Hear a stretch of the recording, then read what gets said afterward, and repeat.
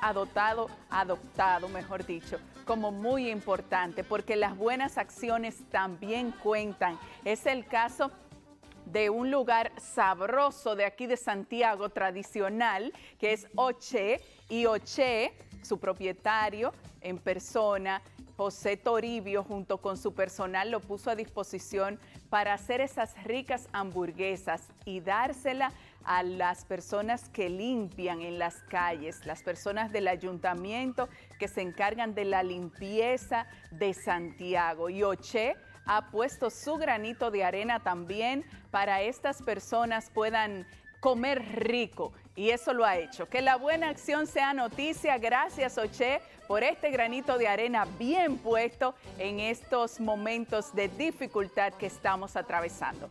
Que la buena acción sea noticia.